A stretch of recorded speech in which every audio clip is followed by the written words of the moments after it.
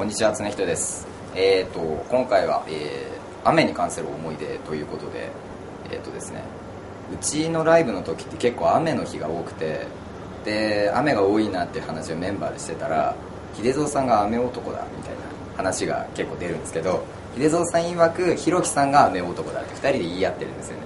で名古屋でいつしかライブがあった時になんかすげえ台風が来て嵐になったらしくて。